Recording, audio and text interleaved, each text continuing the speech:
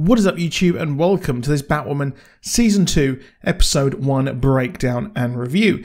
Now, the amount of hate around the first season was very, very high, and I was never too much of a fan of Ruby Rose in the role. Personally, I've never been a big fan of her acting, but the new actress, Javicia Leslie, absolutely nailed the role of Ryan Wilder, the inheritor of the Batwoman suit and title.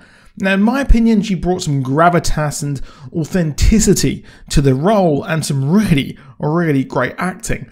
There will be spoilers in this video, and if you enjoyed it, then please do drop a like down below and subscribe with notifications on. So, with Ruby Rose abruptly leaving the show after the first season, I did wonder how the hell are they going to do a season 2?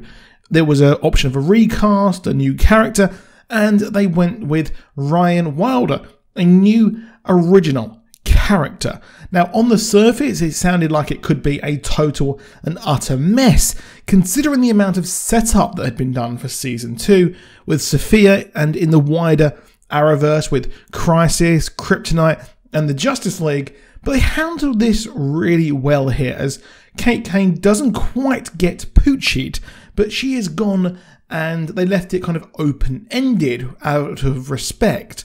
Now, we open with a camper van that has Ryan Wilder in it, where she's living, as a jet crashes. But this was a jet carrying the Batwoman herself, as it was flying out of National City, but it was destroyed. The opening scenes flip between Ryan looking through the wreckage, trying to find survivors, with Luke and Mary trying to find Kate's plane as they learn the horrible fact that it was indeed her plane that fell from the sky. Kate was in National City to work out a way to destroy the piece of kryptonite she gained from the Crisis on Infinite Earths crossover at the behest of Luke Fox, as not only is it dangerous in the wrong hands, but it can pierce her suit, except her plane was blown up on the way back. Now, I really like this opening as it deals with the elephant in the room of Ruby Rose's Kate Kane leaving and the Kate sized hole that is left in the show. And instantly we set up Ryan Wilder's backstory and her inherent good nature. We learn her adopted mother was killed in an attack by Alice's gang who wanted to squat in the new home they went to, which we saw in the flashback. Now, Ryan was desperate to revive her to no avail, and we can see this trauma in this, and it's evident that she's been through some stuff, man. The opening may have been a bit too fast, flashing through each character of the story, but not only are we dealing with a season opener, which usually focuses on where each character is, and also having to introduce a new character after Ruby's abrupt departure and in season one, there was no transition or Doctor Who style regeneration scene. Usually, we know when a character is getting recast. But here, I think, with the short notice, they did a great job in my eyes. Now, Luke, Mary, and Jacob all come to the realization that Kate Kane was on that fallen jet and is now missing. Jacob arrives at the scene to look for his daughter, as Sophie is there already as Alice watches. It's an interesting way, and at first I thought this was Kate getting the fridge treatment, but the writers have weirdly left it sort of open ended should she ever return. There's a real question mark over Kate's disappearance and subsequent death. I think, regardless how Ruby left the writers in the lurch, Killing off Kate Kane like this would be a huge mistake, as, in my opinion, it's such an important character in not only the Bat family, but the wider DC world, and I think that character needs to be done better in the future.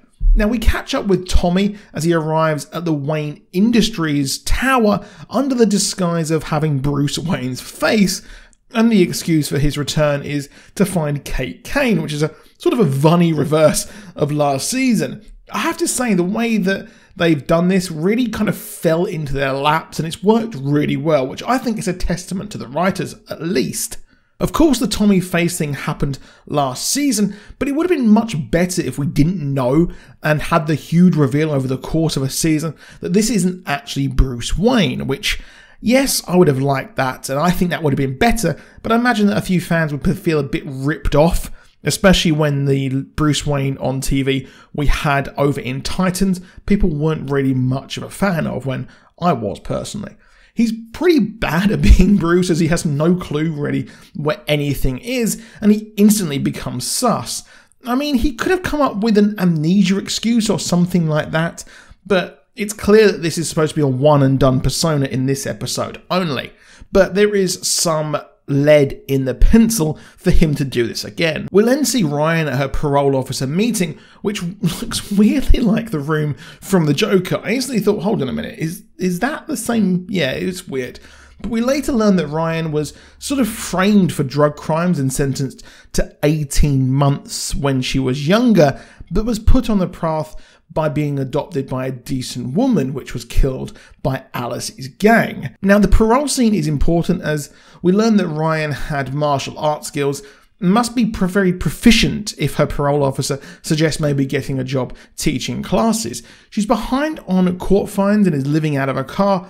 Well, yes, this is a bit of a trauma bingo with so much unnecessary hardship heaped on the character, but to be honest, that's just a bit of nitpicking there. I could really just look over that, but it is something I did think was a bit odd. Now, Sophie and Julia are talking, and it's clear this romance is complicated, but it's one of those things where it's just baggage from another season and another character. So, the show's creators did a stellar job of inserting Ryan into this world and these continuing storylines as almost every single one becomes relevant to our new Batwoman. Sophie thinks that it's Safiyah, a storyline which we will touch on the end. One hangover which will stick around twofold is Alice as she goes to Tommy at Wayne Manor as he is making the most of his new face and persona. But a drunk Alice turns up resentful of him, and I feel the writers did really miss a trick by keeping Tommy around as Bruce would be really interesting. But her plan was to have Kate killed by the father using the kryptonite as a MacGuffin. However, Tommy is just uninterested in all of this and just wants to live the party life and also live the Batman life and live what he's wanted. But what's key though is how Alice has gone off the deep end. Her plans have failed and she's turned into some sort of anarchist joker as she randomly kills one of Tommy's conquests for no reason. Yeah, I wasn't too much of a fan of that if I was honest.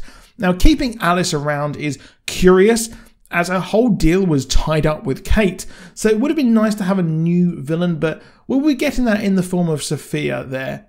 Now, the Sophie and Julia storyline rumbles on as we are dealing with a bit of a hangover from the first season with these two.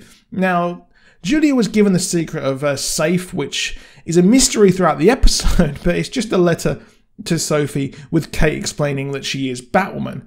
I guess it's a full stop on that story, and I would like maybe these two to join Team Batwoman, but I'm not too sure if that would be or fit with the persona of Batwoman. Luke and Mary are still, however, looking for the suit which has gone missing when they finally find Ryan. Ryan makes a really good case for keeping the suit by saying while she has no legacy, she isn't special but she's the silent majority, these people who fall victim to crime every single day and are just a number. I really love this speech. It has parallels to what's going on in the real world right now with people downtrodden and social injustice, but it's handled expertly. It's not token, it's not cringe, it just works out very well. Now, Mary's interjections were pretty clunky throughout the scene, but this whole scene was reduced when she just gave the danged suit back. Now, Tommy as Bruce then acts even more sus as he goes to Jacob to say Alice was at Wayne Manor. Why wouldn't someone with Bruce's money just have her kicked out? Yeah. But anyway, he speaks to Julia, seemingly having no idea who she is. He even fails her check when she tricks him into admitting that Alfred is somewhere other than London. There was a great scene with Mary as she looks into Ryan's life as Ryan reads the life story of Kate, which is really cool as the scenes are juxtaposed.